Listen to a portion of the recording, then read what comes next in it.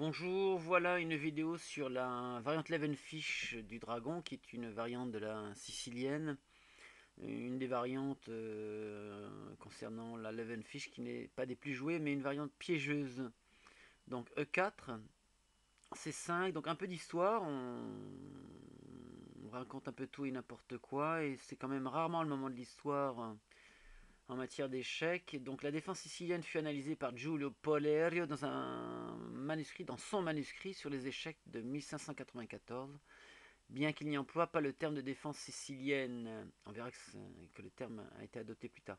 Elle fut par la suite étudiée par les forts joueurs de l'époque, Alessandro Salvio 1604, Don Pietro Carrera 1617, euh, qui était prêtre aussi au passage, Gioacchino Greco 1623 et plus tard le comte Carlo Francesco Cozio, 1740. Voici l'avis qu'émettait en 1777 pardon, le grand joueur et théoricien français euh, Philidor.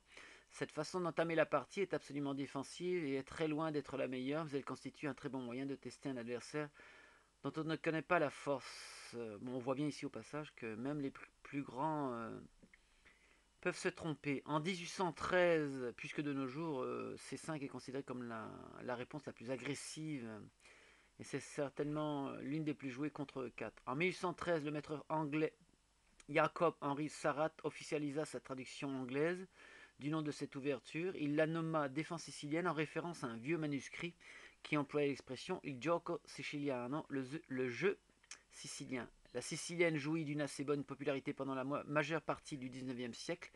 Louis May de la Bourdonnais, Adolf Andersen, Stanton, Paulsen, Genich la jouaient tous de manière assez cohérente. Dans la neuvième édition de Modern Chess Openings, Korn, Walter Korn faisait remarquer que les matchs McDonnell-La Bourdonnais 1834, Stanton Saint-Amand 1843 et le tournoi de Londres 1851 avaient été pour la sicilienne les trois premier grand test pratique et avait grandement contribué à son essor de popularité.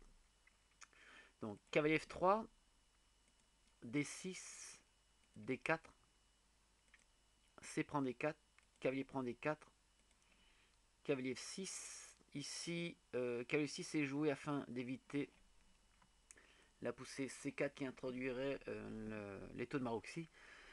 Un système très difficile à jouer euh, pour les noirs par le surcontrôle de la case D5. Par exemple, si les noirs ne connaissaient pas cette subtilité-là et jouaient euh, G6, on aurait C4, fou G7, C3 et on retombe dans un étau de Maroxy. Vous voyez bien ici le surcontrôle de la case D5 par euh, cavalier, cavalier, pion et pion. Ici la case D5 pour les plus débutants. Donc, cavalier C3, G6 le dragon. Alors, le dragon, euh, l'un des grands systèmes euh, côté noir, très connu, très, très, très analysé et très solide. Donc, concernant le dragon, cette variante, elle aurait été baptisée variante du dragon en 1901 à Kiev par le maître russe Fyodor Douskotimirsky, qui s'intéressait beaucoup à l'astronomie et trouvait que la structure de pion D6, E7, F7, G6, H7, avec quelques ressemblances avec la constellation du, dragon. D'autres parlent euh, du fou en G7 crachant son feu sur la grande diagonale H8, euh, A1. Bon, bon, ça doit tourner autour de tout ça. La variante du euh, dragon. Donc, G6, F4, la variante Levenfish, donc ce n'est pas la variante la plus euh, jouée loin de là, mais elle est assez euh, piégeuse. L'idée de F4 est de jouer sur l'aile roi avec le duo E4, euh, F4, et notamment tout tard la poussée E5 ou F5. La poussée E5 qu'on va voir tout de suite. Donc, deux mots sur Levenfish, Grigory Yakovlevich Levenfish, né le 9 mars 1889 à Piotrov, Piotrkov Tribunalski. Je fais ce que je peux. Mort le 9 février 1961 à Moscou, euh, un joueur d'échecs soviétique d'origine juive, de premier plan dans les années 20 et 30. Donc euh, je le répète ici sur F4.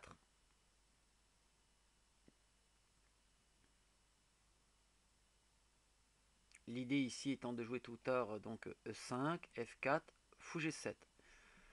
Ce coup fou G7 est jouable, euh, mais il rentre et il permet au blanc euh, une séquence piégeuse qu'il faut connaître. Mais rappelez-vous, c'est ce, qu'il faut mémoriser, c'est que fou G7 est tout à fait jouable. Encore faut-il connaître le bon coup après la poussée E5, euh, e qui est cavalier H5. Donc sur fou G7 ici, je le répète encore une fois, qui est tout à fait jouable. Vous avez avant de jouer fou G7, si on veut éviter ces séquences tactiques, deux autres coups stables qui tiennent E5 euh, avec cavalier BD7 et ou cavalier C6 qui feront l'objet de deux autres vidéos. Donc sur F4, la vente Levenfish, si les noirs optent pour fou G7, donc on ne le répète jamais assez, euh, coup tout à fait euh, jouable. E5, le bon coup avec cavalier H5. Je vous donne quelques séquences qu'il ne faut pas trop mémoriser. Si on commence à mémoriser plus ou moins des séquences mauvaises, elles sont inscrites et on pourrait les débiter à nouveau. Ce qui serait euh, dommageable. Donc, on aurait tendance en plus à vouloir isoler ce pion en E5 pour mieux le capturer avec une procédure classique, c'est-à-dire F prend E5 et KG4. Donc en effet, normalement ici, on gagne, on gagne E5 euh, net. Cependant, vous avez une, réfutation à ce coup euh, 4 qui est tout simplement fou B5 échec. Commençons par la plus rigolote qui est roi F8. Euh, ouais, c'est très rigolo parce que je suis tombé euh, deux fois, j'ai honte, deux fois dans ce piège. Avec pas mal de semaines de décalage, ça peut m'excuser un peu. Puisqu'on gagne par cavalier E6 échec et on gagne la dame tout bêtement F prend E6 ou fou prend E6, peu importe. Dame prend D8, échec, roi F7, on peut continuer un peu, petit roc, cavalier F6, dame C7 et les blancs sont gagnants évidemment. Donc dans la séquence E5, D.5, F.5 dans le style je gagne le pion E5, euh, nous avons, la, réfutation, je vais y arriver, fou B5 échec, on vient de voir roi F8, sur fou D7, un piège classique qu'on retrouve dans l'attaque yougoslave du dragon, c'est-à-dire dame prend G4 et le fou D7 est cloué gagnant une pièce nette. Sur euh, la troisième séquence cavalier C6, un peu plus complexe, vous avez tout simplement euh, cavalier prend C6, dame prend D1 échec, cavalier prend, sinon euh, les noirs joueraient une petite fourchette sur roi prend D1 en, en F2. A6 pour éviter l'échec à la découverte, A4 qui reporte la menace Fou D7, H3, cavalier H6, cavalier prend E7. Sur fou prend A4, euh, on a tout simplement euh, cavalier D5 euh, qui donne une position avantageuse au, blanc avec ce gain de temps. Par cavalier B6, fourchette sur le fou et la tour, ou même la fourchette en, C7. Sur cavalier prend E7, non pas fou prend A4, mais roi prend. Il a simplement fou G5 échec, roi E6, fou prend D7, roi prend D7, KC3 avec un bon avantage blanc et un pion euh, d'avance que l'on devrait, euh, devrait conserver. Donc euh, sur F prend E5 ici, si on reprend la, la séquence depuis le début, c'est-à-dire la poussée E5, on va même recommencer depuis le début, ça peut être utile pour la mémorisation E4, C5 cavalier F3, D6, D4, C prend D4, cavalier prend D4, cavalier F6, cavalier C3, G6, F4, fou G7, jouable. Et sur la poussée E5, bon je rappelle que si on ne veut pas jouer fou G7 et rentrer dans les séquences euh, tactiques, on a d'autres solutions, c'est cavalier BD7 ou cavalier C6. Si fou G7 qui est encore une fois jouable, D'autant plus que les blancs pourraient ne pas connaître la, bonne continuation noire et rentrer allègrement dans cette séquence qu'ils euh, considèrent comme gagnante, voire euh, matante. Donc, E5, euh, donc D prend E5, F prend E5. Donc on a vu ici le mauvais coup KVG4. On a une autre possibilité qui est KVD7. Donc E5, cavalier D7, E6, avec la menace euh, F prend E6, cavalier prend E6 et une fourchette sur fou et dame, gagnant pour les, pour les blancs.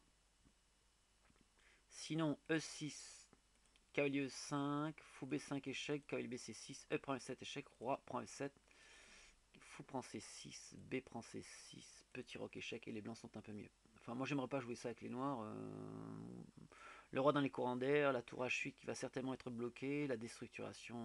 Non, non. Euh, je pense pas que la variante soit très sérieuse et recommandable. Donc sur D.5, F.5, on a un troisième coup. Non pas cavalier G4, non pas cavalier FD7, mais cavalier 5 qui est encore plus faux. Avec fou B5 échec, roi F8. Euh, quoi d'autre euh, Petit roc. Fou pour 5. Une variante analysée puisque le pion est en l'air, mais ce coup est faux puisque cavalier prend D5. Attirant la dame sans protection en D5. Fou H6, H6 échec. Roi euh, G8. Et cavalier F5 qui gagne avec une menace de mat en E7 ou Menace de fourchette. Et sur Dame prend D1, pour ceux qui n'auraient pas vu, tout simplement cavalier prend 7 échec. Bon, toutes les variantes ne sont pas analysées, mais de toute façon, ce qu'il faut mémoriser ici, c'est qu'il ne faut pas jouer euh, ni cavalier D5, ni cavalier FD7, ni cavalier G4, mais sur fou G7, E5, il faut jouer la bonne continuation qui est cavalier H5. Donc, sur cavalier H5, on pourrait penser que ce coup est faux parce qu'il n'a pas de case ce cavalier. Donc G4 gagne le cavalier, faux. Hein, c'est G4 est fausse puisqu'on a une ressource tactique. Par cavalier prend F4, fou prend F4, D prend E5 et les noirs sont mieux, ils vont récupérer leurs pièces avec une bonne position, un roi blanc euh, très affaibli. Alors que les noirs peuvent roquer en un coup. Donc tout ça, ça n'a pas de sens. Fou B5 échec, fou D7, E6, possible. En général, les blancs sont très séduits par ce coup, ils considèrent que la position est, gagnante s'ils ne connaissent pas la, variante dans sa totalité. Donc F.6, K.6, les blancs sont encore très contents, tout, se passe bien. Sauf que là, il y a le coup qui justifie euh, toute la séquence noire qui est fou prend C3, B prend C3 avec de gros problèmes de déstructuration. Certes, les blancs ont la peur de fou, mais la déstructuration blanche euh, en C3 et en C2 est est assez difficile à gérer. Dame C8, avec une position égale, la paire de fou pour les blancs, mais quelle déstructuration pour, euh, pour les blancs aussi. Fritz lui donne euh, Dame A5, euh, mais il y a une petite ressource tout à fait sympathique, fou des deux. Bon, sur Dame prend B5, sans commentaire, cavalier C7, échec, fourchette gagne Dame, bon ça n'a pas de sens. Et sur fou des deux, fou prend B5, C4 qui récupère le fou C4 avec un léger avantage blanc dans une position un peu complexe. Donc, la partie euh, commence maintenant après euh, Dame C8 qu'on va euh, revoir. Donc, si vous jouez la vente Leven Fish avec Fou G7 et non pas cavalier BD7 ou cavalier C6, il faut absolument mémoriser cette, cette position. À la limite, vous prenez quelques amis à la maison, un prof ou tout seul et vous analysez ça. Pardon, vous décortiquez euh, cette position pour vous faire euh, la main et faites votre, euh, faites votre choix. Ceux qui aiment les pièces et la paire de fous vont peut-être aimer les blancs. Ceux qui aiment profiter de, ces problèmes de structure vont certainement préférer les, noirs. Donc pour la mémorisation, je vous redonne, en espérant ne rien avoir oublié, la séquence, la ligne principale, E4, C5, cavalier F3, D6, D4, C prend D4, cavalier prend D4, cavalier 6, cavalier C3, G6 le dragon, F4 la variante fiche. Fou G7, bon les autres coups sont cavalier BD7 ou cavalier C6, il y aura deux euh, autres variantes, une variante par deux autres euh, vidéos pardon et une vidéo par variante. Donc sinon F4 Fou G7 est tout à fait jouable, excusez-moi de me répéter, mais il faut, je crois. Donc, Fou G7, E5, cavalier H5, le coup qui tient, Fou B5, Fou D7, E6, F prend E6, cavalier prend E6 et le coup si particulier, fou prend C3, B prend C3, dame C8 et la partie commence euh, maintenant. Donc euh, voilà pour la variante Leven Fish, pas très jouée, piégeuse, et si on joue le dragon, eh bien on est bien obligé de connaître ce genre de choses puisque les, les blancs peuvent nous imposer F4 et on se devra d'être prêt. Merci et bon travail.